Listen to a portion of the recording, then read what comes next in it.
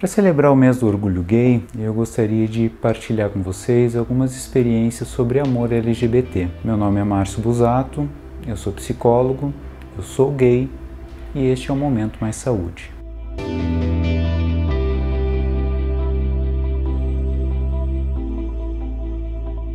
A gente vive hoje uma sociedade que fala de maior aceitação, de conviver, de inclusão do público LGBT, mas a verdade é que quando nós pensamos eh, no amor LGBT, nós encontramos esse, esse amor hoje na sociedade de algumas maneiras que não são tão legais. Por exemplo, através de xistes, eh, dizendo se você é contra o casamento gay, não case com um gay. É bacana pensar isso? É. É um jeito de trazer reflexão? É mas é um xiste, né? é uma piada, é uma brincadeira.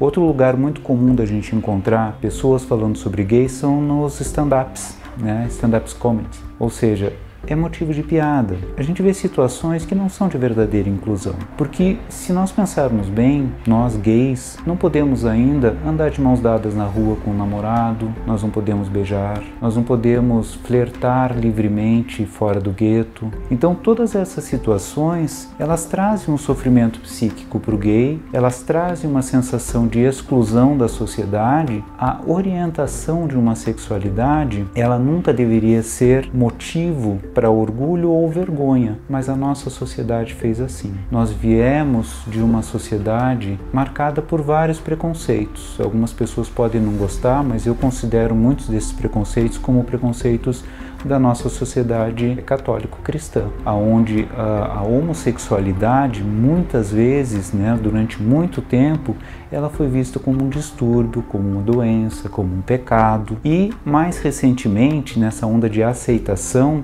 eu ainda ouço pessoas falando em escolha. Ninguém escolhe ser gay. Ninguém escolhe ser hétero.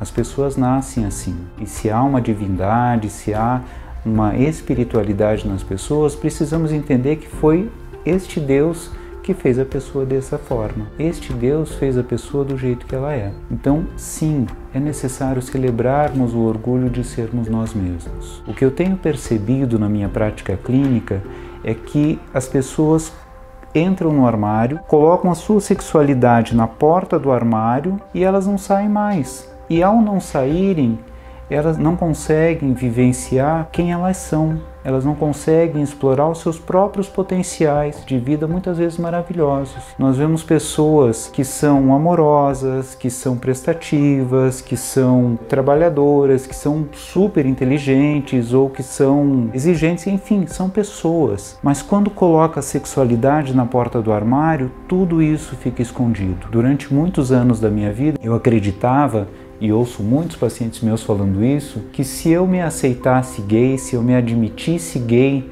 nos locais de trabalho, eu não seria aceito. Eu sofreria rejeição, eu sofreria preconceito, eu seria motivo de piada. E o que eu descobri na medida em que eu fui me libertando desses medos é que eu ganhei respeito. Quanto mais eu me revelo, quanto menos eu me escondo, mais respeito eu tenho conquistado nos meios por onde eu passo. E eu não preciso mais ter vergonha de quem eu sou. E eu percebi que ao fazer isso, eu deixei virem à tona muitas características muito bacanas da minha personalidade. Então eu queria deixar essa mensagem: nós queremos respeito, nós queremos ter direitos iguais a qualquer cidadão brasileiro. Nós queremos respeito por ser quem somos, nós queremos respeito por amar quem nós amamos. Se você precisar de acolhimento, ajuda ou orientações, entre em contato com a Secretaria de Saúde e Condições de Trabalho do sindicato pelos telefones 41